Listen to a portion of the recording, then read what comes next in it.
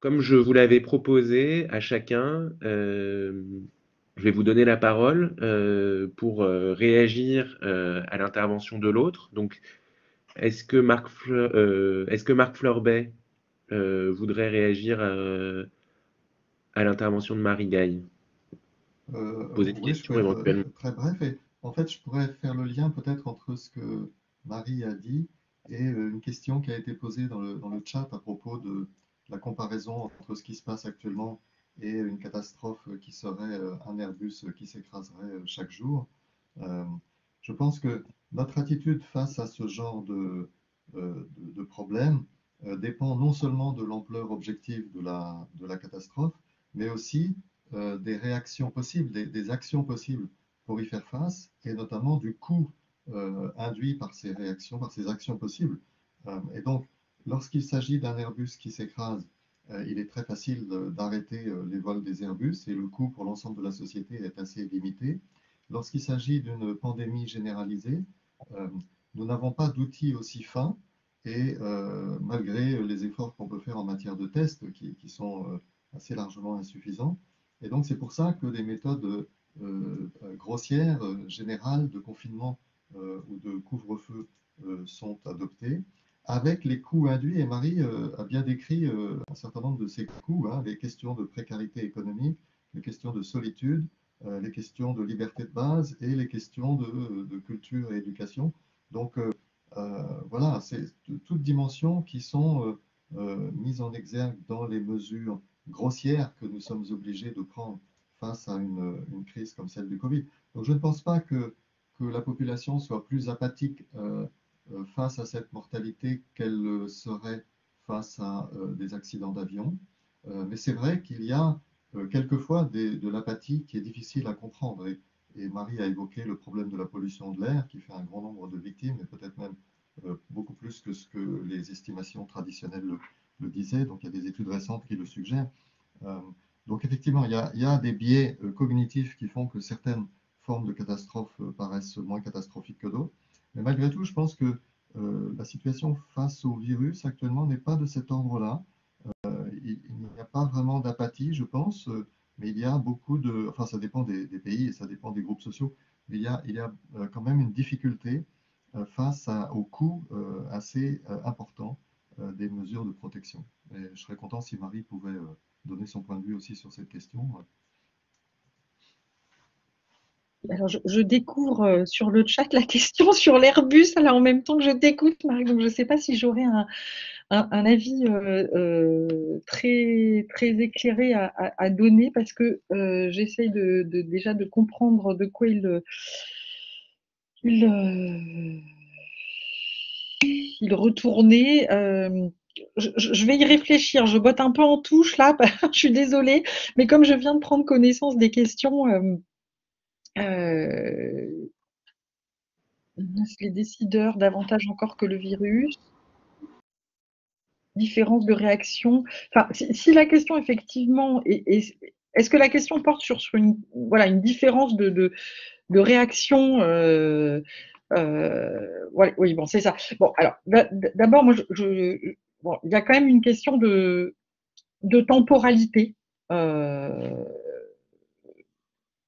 Dont il faudrait voir exactement euh, euh, les effets euh, quand on réagit à un accident qu'on n'a pas pu anticiper, même si effectivement il y a un certain nombre de calculs qui existent déjà et de, statistiques sur le, nombre d'accidents possibles par avion. Et quand on a le temps d'anticiper ou de préparer une, une, situation, moi, effectivement, je, bon, je, citais l'exemple de la pollution de l'air, mais j'ai regardé là récemment euh, les, chiffres, euh, le nombre de décès qui avaient euh, simplement concerné la grippe, non pas seulement sur l'année 2019-2020, mais sur les cinq ou six dernières années. Il se trouve qu'entre 2014 et 2015, on a eu quand même un nombre très important en France de personnes mortes par la grippe. Et voilà, donc effectivement, on, peut, on ne peut qu'être frappé par euh, la, je dirais pas l'incohérence, mais en tout cas la fragmentation des priorisations ou des non-priorisations et ne, pas bien comprendre comment, euh, euh, soit au niveau gouvernemental, soit au niveau même de la société, on va évaluer quelque chose comme extrêmement important, on va compter et d'autres choses sont complètement passées sous silence ou sont relativisées, etc. Donc voilà, peut-être, en tout cas, un de mes espoirs, ce serait que, et je pense que pour le coup, l'économie, effectivement, peut fortement y contribuer par sa capacité qu'elle a à objectiver un certain nombre de, phénomènes, euh, peut-être que euh, une des leçons qu'on pourrait tirer de la pandémie, ce serait de mettre en place une réflexion collective, sociale, politique sur voilà, qu'est-ce qui compte ou pas Et qu'est-ce qui devrait compter en termes euh, d'anticipation politique, euh, d'action politique, de manière beaucoup plus systématisée que ce qu'on a fait jusqu'à maintenant?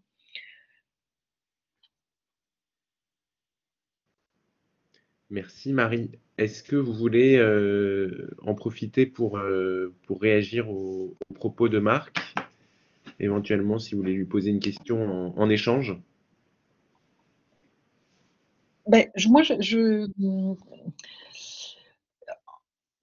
par, rapport à, enfin voilà, une des questions que, j'avais envie de te poser, Marc, euh, c'est peut-être quelque chose qui, renvoie à une réflexion sur le, sur le bien-être, sur des formes de bien-être euh, ou sur une vision de ce que serait le bien-être. Est-ce que, à ton sens, euh, la pandémie actuelle, euh, donc avec son cortège effectivement de, décès, d'hospitalisation, éventuellement de chronicisation de, la pathologie, peut contribuer à une réflexion euh, sur euh, ce qu'on devrait viser en termes de santé publique, alors soit à travers cette catégorie de, bien-être, et, y compris à travers les éléments que j'ai énoncés, soit à travers une autre catégorie. Euh, qui nous permettrait vraiment voilà, d'appréhender ces effets collectifs en fait hein, sur, la, sur la santé humaine. Enfin, voilà. Est-ce que ça va changer quelque chose à l'appréhension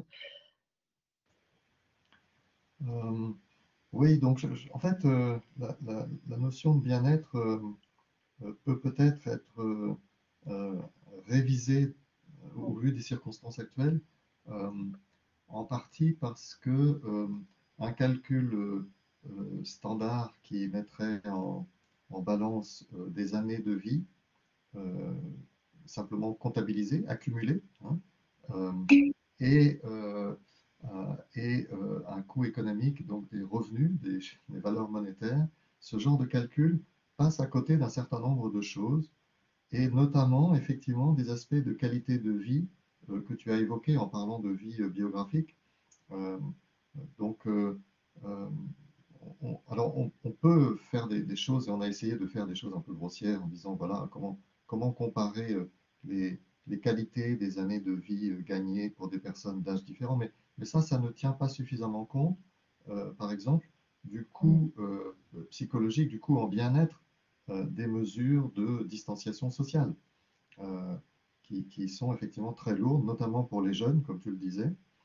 et donc, avoir des mesures plus fines de, de, qualité de la vie qui tiennent compte de cela, effectivement, c'est quelque chose qui, auquel nous sommes encouragés par la, par la, situation actuelle. Et ça vaut sans doute la peine. Moi, je suis personnellement très intéressé actuellement par euh, une meilleure prise en compte de la qualité des relations sociales.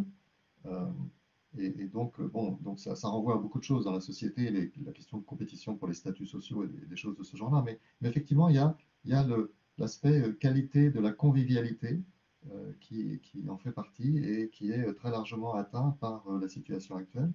et donc, nous n'avons pas assez de mesures pratiques pour de mesures vraiment opérationnelles pour tenir compte de cela sais pas si ça répond vraiment à ta question.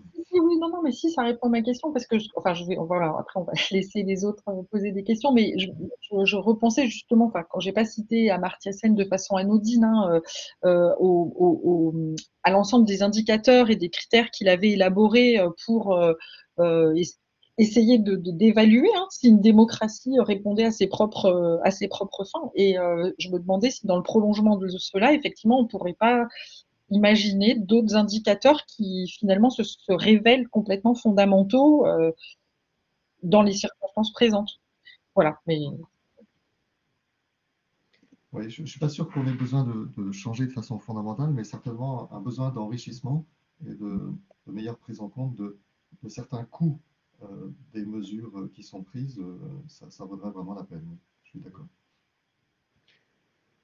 je vais un peu prolonger cette, euh, cette, discussion en vous posant une question à tous les deux.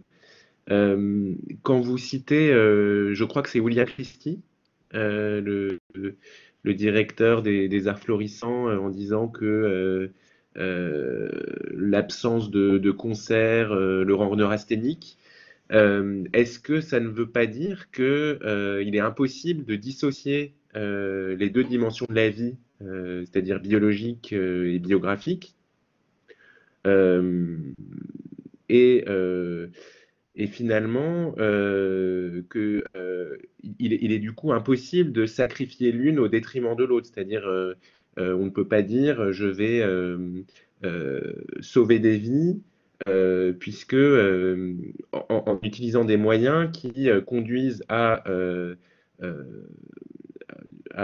comment dire à, isoler par exemple, à, à entraver la vie au sens euh, euh, disons, biographique, euh, puisque ensuite, il y a des effets de ces, entraves sur la vie biologique en, retour. Donc, il, y a, un lien, il y aurait un lien fort entre les deux. Est-ce que c'est ce que vous vouliez dire, Marie Gaille, dans, votre intervention? Et la question que je pose à, Marc Florbet, c'est sur la, mesure de la disposition à payer. Est-ce que finalement, euh, cet indicateur-là, euh, il ne tient pas compte de ces deux dimensions, euh, puisque finalement, on, est disposé à payer, non pas seulement pour, pour survivre, mais pour mener un certain nombre d'activités qui, nous, qui nous tiennent à cœur. Autrement dit, il faut faire un lien entre les valeurs, ce à quoi on attache de l'importance,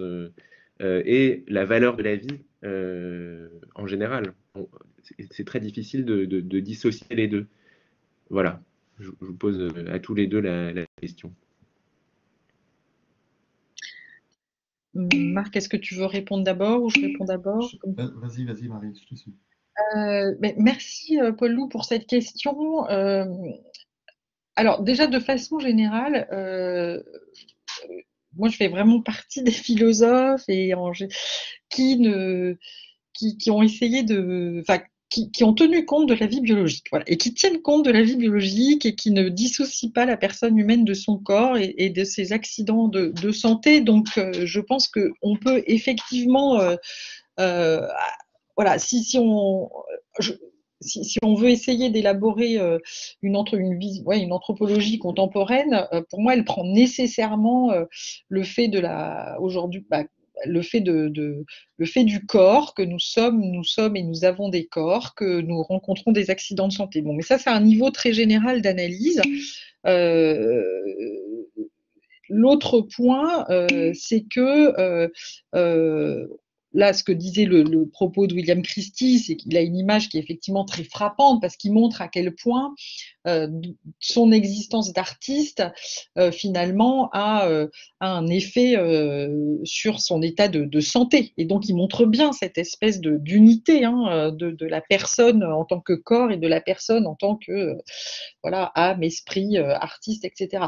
après il y a eu et il y aura encore sans doute des tensions euh, dans, le cadre de certaines décisions entre euh, ce qu'on met dans l'idée de vie biologique et ce qu'on met dans l'idée de vie biographique. En fait, ce, duo ou cette opposition, elle a été euh, notamment formalisée à partir des années 60, euh, à la fois euh, au départ dans des cercles catholiques et protestants, puis après de façon séculière dans la bioéthique, et par ailleurs chez les professionnels de santé, notamment en réanimation, justement pour exprimer une opposition ou une difficulté je dirais, à décider en fonction de la considération de critères euh, organiques de l'état de santé et de critères qui seraient aussi liés à la capacité de l'être humain à avoir certaines fonctionnalités, je dirais, en état de marche, hein, pouvoir passer du lit au fauteuil, pouvoir se déplacer, etc. Et puis, ce qu'ont revendiqué de plus en plus des patients, et qui étaient attachés justement, quel que soit finalement leur état de santé, à des activités qu'ils valorisaient. Et peut-être avec des états corporels extrêmement dégradés, mais qui faisaient pour eux le sens de leur vie.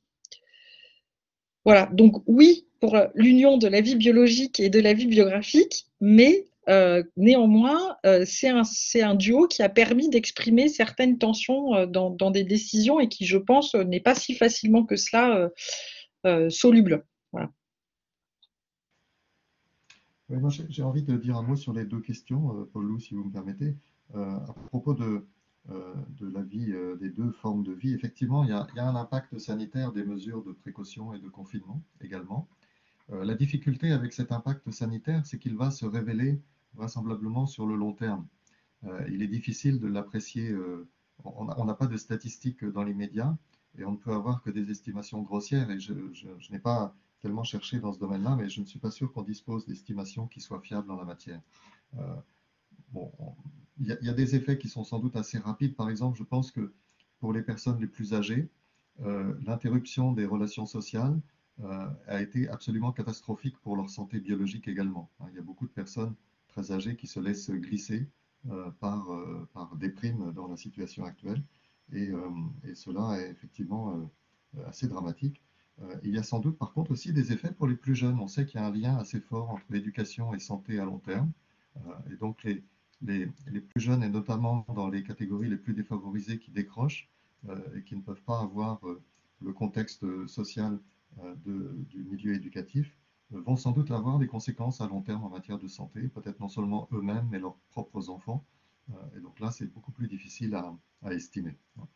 Euh, alors sur, sur le, euh, ce, que, ce que vous disiez, Paul sur le consentement à payer, qui peut aussi servir à apprécier des éléments de qualité de vie sociale, vous avez tout à fait raison. Effectivement, c'est un outil qui peut servir à, apprécier tous les aspects de qualité de, de la vie, puisque au fond, ça représente l'importance euh, que les gens attribuent à différents aspects. Donc, la longévité de la vie, c'est un des aspects, mais la qualité de la vie, la qualité des relations sociales, c'est un autre aspect. C'est quelque chose qui est bien connu, par exemple, à propos du chômage. Euh, on sait que l'état de chômage est un état qui non seulement fait perdre du revenu, mais fait perdre aussi un statut social, crée énormément d'anxiété. Et donc, le, coût euh, de l'état de chômage est nettement supérieur à la perte de revenus. Et donc là, dans la crise actuelle, euh, il y a une perte de revenus et il y a un coût supplémentaire, euh, et donc pour lequel on n'a pas une bonne estimation, euh, mais qu'il serait effectivement important d'arriver à chiffrer et qui est lié à cette perte de qualité de vie, cette perte de relations sociales et ces, ces, angoisses diverses qui apparaissent. Vous avez tout à fait raison. Merci. Alors, je vais laisser la parole à, Clémence Thébault pour qu'elle nous dise euh, quelles, questions ont été posées dans le chat. Voilà, Clémence. Oui, donc l'exercice est assez difficile parce qu'il y a beaucoup de réactions dans, le chat et euh, c'est un sujet euh, complexe et, du coup les, discussions vont dans, différentes directions. Peut-être pour résumer les choses, il, y a des, y a un certain nombre de, remarques qui portent finalement sur cette question lancinante du coup que je vais reposer à, à Marc et, et, également à, à Marie la question lancinante, c'est euh, finalement comment arbitrer entre la préservation des, vies humaines et euh, la préservation de, la vie économique. Euh, avec cette question finalement de l'Airbus euh, qui, qui, qui, qui, euh, qui, renvoyait à celle-ci. Et du coup, peut-être dans un objectif de, de clarification, Marc, est-ce que tu pourrais finalement nous, nous, réexpliquer la façon dont les sciences économiques et notamment les outils que, que tu proposes permettent finalement d'éclairer cet arbitrage-là? Et, et, du coup, Marie, est-ce que qu'est-ce que voilà, quel regard vous portez sur sur ces outils vraiment de, de l'économie? Je pense hein, là, par exemple exemple, hein, au concept de, revenus équivalents santé qui permettent euh, justement euh, de synthétiser euh, eh bien, ces, différents effets pour voir finalement quelle est la stratégie optimale quand on prend en compte toutes les conséquences de ces, de ces politiques de, confinement ou de restriction. En fait, peut-être ce que je peux dire pour prolonger un petit peu, c'est le, le, consentement à payer sert juste à représenter l'arbitrage que les gens sont prêts à faire entre deux choses, leur niveau de vie économique et des aspects de qualité de vie qui peuvent être en santé ou, ou autres. et comme je l'ai indiqué brièvement au début, on a besoin d'établir un ordre de priorité, une pondération des consentements à payer pour notamment pour tenir compte des inégalités sociales. Euh, et donc, on, peut tout à fait, euh, sur le plan éthique, vouloir donner une priorité au euh, consentement à payer, aux préférences des personnes les plus défavorisées. et donc, pour apprécier n'importe quelle politique dans n'importe quel domaine, la méthode est toujours à peu près la même. Il faut se donner une distribution, il faut essayer d'estimer la distribution des impacts sur la population, des différentes options euh, qui sont considérées. Alors, on peut euh, effectivement donc euh, simplifier cette description en parlant de consentement à payer, mais ça n'est pas forcément la seule approche possible. On peut utiliser d'autres mesures. mais et, comme on a besoin d'une pondération de ces consentements à payer pour tenir compte des inégalités, ça veut dire que nécessairement, on a besoin, en plus de euh, ces consentements à payer, on a besoin d'une description de l'état des inégalités. Et donc, pour cela, on a besoin d'une mesure euh, des avantages et des désavantages de la population. Alors, on peut, appeler ça le bien-être si on veut, euh, ou on peut utiliser d'autres notions. Mais on a besoin d'avoir une idée de l'état des inégalités. Et c'est en fonction de ces inégalités que l'on pourra donner des priorités différentielles aux différentes catégories de, population. Alors, comment peut-on euh, mesurer les degrés d'avantage, de désavantage, les niveaux de bien-être? Là, il y a euh, différentes approches euh, qui, selon l'approche que l'on retient pour la mesure du bien-être, la mesure des inégalités, on sera amené à utiliser des coefficients de pondération, des degrés de priorité qui seront différents. Donc, pour donner un exemple assez, assez simple pour que tout le monde puisse comprendre, on pourrait, par exemple, vouloir mesurer le bien-être en termes purement subjectifs, en disant on va prendre les niveaux de satisfaction dans la vie que les gens expriment lorsqu'on lorsqu'on pose une question très simple, quel est votre degré de satisfaction dans la vie? Donnez-moi une réponse sur une échelle de 1 à 7 ou de 0 à 10, comme cela se fait dans les questionnaires de, bonheur ou de satisfaction dans la vie. On pourrait utiliser cela avec le risque que euh, les... Euh, donc ce n'est pas une mesure que je, que je trouve euh, suffisante ou satisfaisante, parce que les gens s'adaptent à leur situation et on trouve des personnes, proportion importante, on trouve des personnes très défavorisées objectivement qui vont néanmoins se déclarer satisfaites de leur vie. Pourquoi? Parce qu'elles ont adapté leurs objectifs dans la vie à leur situation et donc se permettent de donner une, note, un score élevé à leur vie au regard de leurs objectifs euh, modestes, euh, alors qu'objectivement elles sont très défavorisées. Donc je préfère des mesures qui soient un peu plus objectives euh, et effectivement, comme Clémence le, mentionnait, le revenu équivalent, c'est quelque chose qui consiste à, repartir du niveau de vie, mais à corriger le niveau de vie des éléments de qualité de vie, précisément en tenant compte des consentements à payer. Et donc les personnes qui sont défavorisées, en fait, sont généralement défavorisées à plusieurs titres à la fois. Euh, donc elles ont un, niveau de vie économique plus faible, mais aussi une qualité de vie euh, plus faible dans un certain nombre de domaines, liés à l'endroit où elles habitent, liés à la pollution à laquelle elles sont exposées, liées aux conditions de santé euh, qui prévalent dans leur milieu social, etc. Euh, et donc, euh, donc, on peut avoir des mesures de ce genre-là qui sont plus proches de ce que propose Amartya Sen, par exemple, en matière de, de, capacité dans la vie.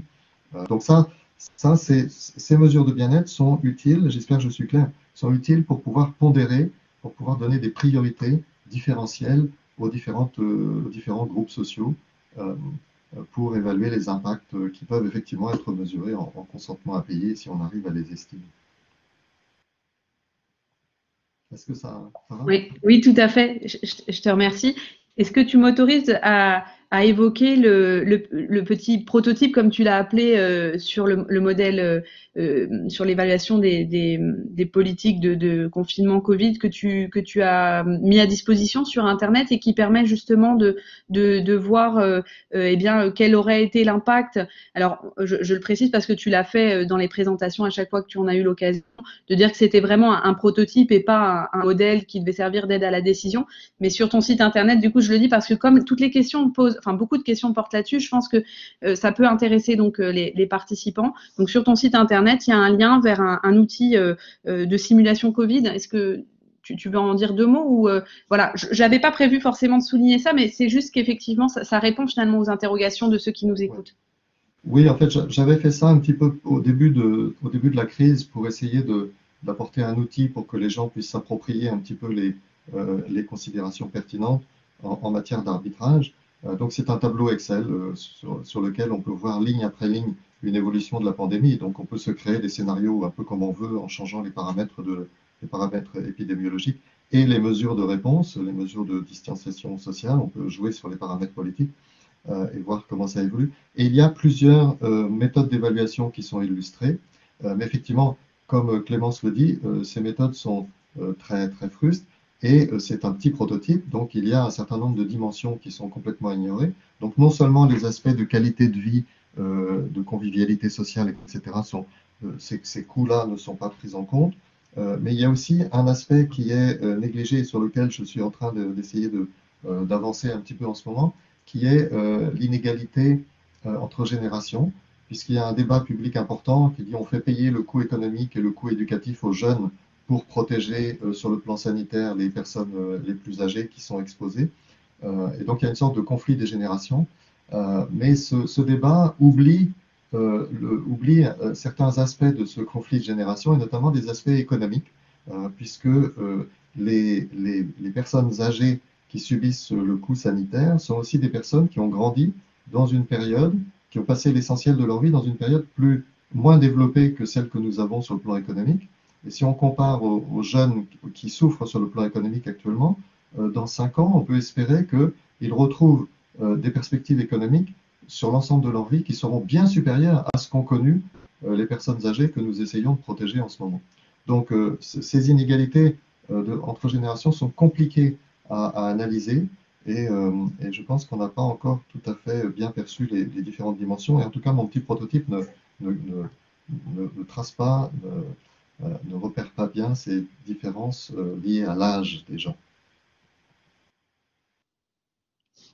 Oui, effectivement, mais c'est vrai que à la fois les discussions dans le, dans le chat et euh, les discussions dans la presse montrent finalement le, une frustration de, la population de ne pas pouvoir avoir ces outils d'évaluation. Finalement, aujourd'hui, tout le monde a envie euh, de pouvoir voir et comparer la situation euh, actuelle avec celle qui aurait été euh, si nous n'avions pas confiné, etc. Je pense que finalement, cette, cette pandémie, elle, elle ouvre, elle ouvre tout le monde finalement à cette question de l'évaluation. Et du coup, voilà, on sait que alors à ma connaissance, et à vous de me corriger, c'est une question aussi qui a été posée. Est-ce que ces évaluations, est-ce que ces outils que vous avez mentionnés ont été utilisés euh, dans la décision publique?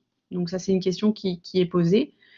Euh, je, personnellement, je, n'en ai pas entendu parler, j'ai pas connaissance, euh, en tout cas, de, modèles incluant notamment ces évaluations en termes de bien-être, etc. Mais est-ce que, vous, vous avez eu connaissance d'outils qui auraient été mobilisés dans les décisions? Et effectivement est-ce qu'on euh, pourrait envisager qu'il le soit euh, à l'avenir?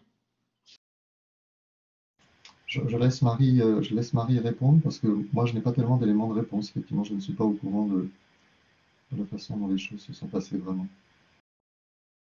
Ah, mais moi non plus, j'ai pas d'éléments de réponse sur, sur la suite des événements. Mais euh, euh, peut-être que je peux rebondir sur des choses que, que, tu as dites par rapport à la question euh, que, que vous posiez. il faut voir qu'en philosophie, il y a tout un débat sur ce qu'on appelle l'économisation du monde. C'est-à-dire, alors, bon, je pense notamment à un philosophe américain qui s'appelle Michael Sandel, qui a, qui a écrit sur la justice, mais il y a des prises de position qui, sont plus anciennes, notamment dans le domaine de, l'écologie politique, euh, par exemple chez, André Gore, sur le sujet, sur le fait de, tout voir à travers des lunettes. Euh, qui, conduisent à attribuer une valeur économique à telle ou telle chose. Alors moi, même si je trouve que ce débat est très intéressant et, enfin cette prise de position est, est importante et pose de vraies questions, c'est pas nécessairement celle que j'aurais envie de mobiliser aujourd'hui, parce que dans le domaine de la santé, euh, je reprendrai volontiers un propos de la politiste Dominique Mény qui avait publié en 2003 un ouvrage intitulé euh, euh, Faire vivre et laisser mourir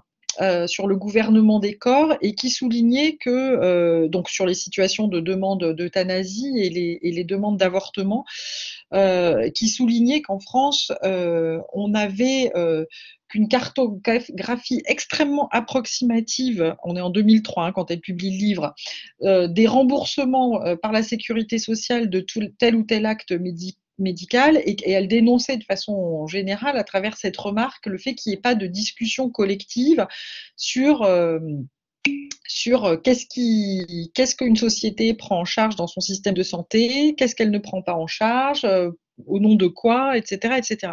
Donc moi je trouve que tous les outils qui peuvent permettre d'objectiver hein, qu'on ce, qu'on ce qu'on fait en termes de politique publique de santé est utile. Maintenant le point peut-être que je pourrais faire, non pas pour moduler ou relativiser cette nécessité d'objectiver à travers des outils euh, ce que collectivement on décide euh, de faire en termes de politique publique de santé, c'est que pour moi, il devrait y avoir un, double niveau de réflexion. À la fois celui qui est permis par ces outils et ces indicateurs, et puis un niveau de granularité très fine euh, qui serait plus lié à la remontée euh, d'expériences vécues par les personnes, parce que je pense que ce niveau-là et, aucun autre nous permet vraiment d'appréhender euh, ce qui, euh, encore une fois, fait qu'une vie vaut d'être vécue par une personne. Et pour avoir travaillé à la fois sur les, critères de décision en diagnostic prénatal qui rendraient compte d'une décision d'interrompre ou de maintenir la grossesse, ou au contraire sur les situations de fin de vie euh, et, en réanimation, ce qui, ce qui, ce qui, ce qui manque, c'est pas le fait qu'on discute de la, entre vie biographique et vie biologique. Ça, cette discussion, elle existe, c'est incontestable, mais à mon avis, c'est une extension du regard par rapport à euh, ce qui fait la valeur de la vie. Et euh, je pense aujourd'hui que euh, les questionnaires de qualité de vie et un certain nombre de modalités d'appréhension, même si l'espace médical s'est énormément ouvert à des revendications de la société civile, eh bien, ces outils comme les questionnaires de qualité de vie, par exemple, je pense, pourraient être retravaillés de façon à avoir une appréhension élargie et plus fine euh, de ce qui fait que la vie vaut d'être vécue euh, avec et indépendamment de, l'état de santé euh, des personnes. Ok, je rebondis du coup juste sur cette dernière remarque. Je ne sais pas si vous avez déjà entendu parler des, questionnaires de qualité de vie qui ont été développés euh, sur la base de la théorie d'Amartya Sen euh, qui s'appelle l'ICECAP, qui est une sorte de quali, euh, ce qu'on utilise en santé habituellement, mais, mais qui, qui, qui, évalue la qualité de vie en termes de capacité. voilà, ce sont des choses qui, qui, qui commencent à se développer. Est-ce que vous pensez que c'est dans cette direction qu'il faut aller? Ou est-ce que même là, euh, finalement, on est dans, quelque chose qui est très générique hein, parce qu'on a quand même un seul questionnaire avec des rubriques, etc., euh, à tous. On peut pas, euh, finalement, on n'est pas dans une évaluation au niveau local, hein, comme, vous mentionnez. Non, moi, oui, je pense que c'est dans cette direction-là qu'il faut aller. Par exemple, alors pour le coup, vous évoquez Amartya Sen, il y a des travaux extrêmement intéressants sur euh, les patients Alzheimer euh, et euh, ce qui fait leur voilà à la fois du point de vue de leur famille et de, ces personnes pas ces patients d'ailleurs ces personnes parce qu'elles sont pas nécessairement hospitalisées le sens de, leur vie qui reprennent à leur compte hein, les travaux d'Amartya Sen. Dans le livre qu'ont publié Martine Bungener et son nom m'échappe à l'instant, là, en 2015, euh, qui s'appelle euh, Ce qui compte, euh, il y a ce type de reprise et effectivement, je trouve que c'est ça qui, c'est dans cette direction-là que qu'on pourrait aller de manière fructueuse. Parce que de toute façon, le niveau des politiques publiques, il va décider dans la généralité. Donc on est bien obligé d'avoir des catégories générales. C'est vraiment les questions qu'on pose dans ce type de questionnaire qui permettront de faire remonter d'autres éléments de préoccupation que les éléments premiers qu'on a identifiés sous la catégorie de qualité de vie. Ok, très, très bien, merci beaucoup. Euh, je, vais envoyer pareil le lien vers euh, ces outils qu'on mentionne. Euh, il y a une remarque de, Brigitte qui, qui, qui, qui, pose vraiment question, enfin qui amène plein, plein de sujets. Elle souligne il y a quelque chose qui est troublant dans toutes ces approches, la valeur de la vie est toujours repérée au niveau de l'individu pour lui, alors que euh, les autres peuvent donner de la valeur à la vie d'un autre. Effectivement, dans l'approche économique, hein, dans le welfarisme, on évalue les préférences pour soi-même. C'est ça le cadre euh, normatif. Euh, alors, on voit que certains pays ont, cherché à aller utiliser les outils de, de mesure de disposition impayée pour la vie, pour autrui, en Angleterre, etc. Ils sortent du coup du, cadre théorique. Euh, Marc, je ne sais pas, ou Marie, qu'est-ce que vous pensez de, ce genre de, développement finalement? Oui, oui, non, tout à fait. Euh, le, cadre théorique, comme tu dis, Clémence, est, tout à fait compatible avec l'intégration euh, d'aspects de qualité de vie qui ont à voir avec la présence d'autrui et la, vie sociale avec autrui. Donc, on peut tout à fait imaginer et on devrait le faire idéalement, euh, d'introduire euh, ce coût supplémentaire dans, dans les analyses. Il, y a toujours un peu une, prudence en matière de préférence pour concernant autrui, parce que lorsqu'on les introduit, on peut introduire un certain nombre de choses qui, sont, qui vont au-delà de la qualité de vie induite par la présence d'autrui et qui ont à voir avec des préférences, je dirais, presque politiques pour euh, euh, la distribution du bien-être dans la société, etc. Euh, donc les gens ont des préférences, par exemple, sur le type de voisins qu'ils ont dans leur quartier, et ces préférences ne sont pas toujours très acceptables. et donc, donc il y a, il faut être un peu prudent quand on introduit les préférences sur autrui, mais certainement le coût pour les familles des, des décès, c'est quelque chose qui, qui devrait être mieux prise en compte. Et c'est euh, assez mal, euh, assez mal fait dans les analyses de base, effectivement. Donc c'est tout, à fait, euh, tout à fait raisonnable et, important d'envisager de l'introduire. Merci beaucoup. Marie, je ne sais pas si vous, vous souhaitez intervenir également. Normalement, on avait prévu une, une courte pause hein, avant la deuxième table ronde. Il y a énormément de réactions dans, dans le chat et je, je, je, ne peux malheureusement pas euh, euh restituer toutes ces remarques très riches, tous ces commentaires. Donc je vous invite vous à, les, à les regarder. De toute façon, nous on les, on les enregistre et donc on, on verra comment euh, leur donner leur, leur place. C'est vrai que ce format n'est pas idéal parce qu'on ne peut pas donner la parole même verbalement à ceux qui souhaiteraient réagir euh, parce qu'on est très nombreux et qu'il faut modérer, contrôler, etc. les, les, les, les échanges, c'est très difficile. Euh, Paul Lou, est-ce que tu, veux ajouter quelque chose pour conclure peut-être? Non, non, euh, je, vous remercie. Euh, rien, rien, sur le, rien sur le fond, simplement, je voulais vous remercier pour, pour cette session qui était vraiment très, très riche et la discussion qui a suivi. Et merci aussi à toi, Clémence, d'avoir fait quand même remonter les, questions du chat. Ça a vraiment nourri une belle discussion. Euh, je vous propose qu'on se retrouve à 11h pour, euh, pour la deuxième session. Et euh, merci encore à tous les deux.